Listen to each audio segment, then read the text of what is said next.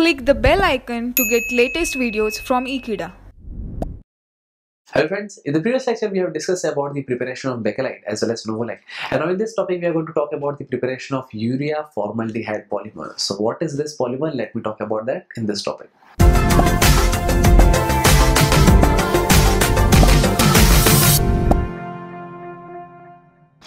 So friends, now we are going to talk about the preparation of urea formaldehyde polymer. So as the name says, that is, it is prepared from urea as well as formaldehyde. So that's the reason that we are using formaldehyde that is HC double bond OH along with that of urea and that is what I could write it as NH2 C double bond O NH2.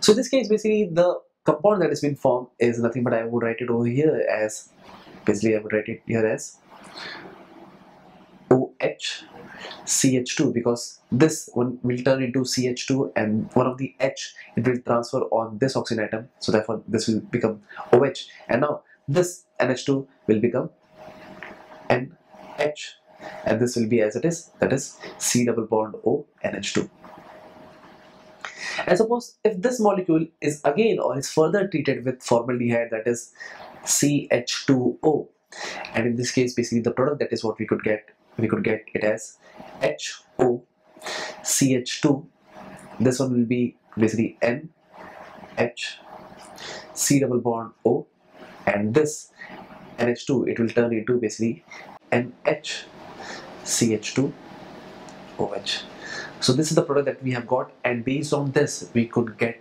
a polymer that is known as urea formaldehyde polymer. So now this is what I'm going to talk about and now let me introduce the further reaction so that we could understand that is how the product has been formed. So therefore this is the intermediate that is what we have got.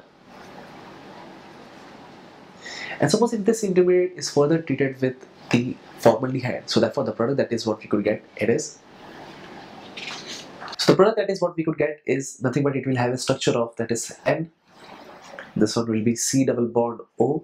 Here also there will be N this one will be repeating unit and product that is what we could get is basically CH2 it would be N here also it will be CH2 and this for the part it will be attached with that is of C double bond O. This is N that is nitrogen.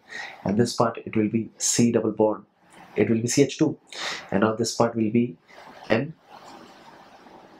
And this one will be basically CH2 N CH2